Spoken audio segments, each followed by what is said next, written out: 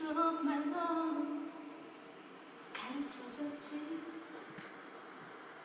이 세상에 혼자가 아니라는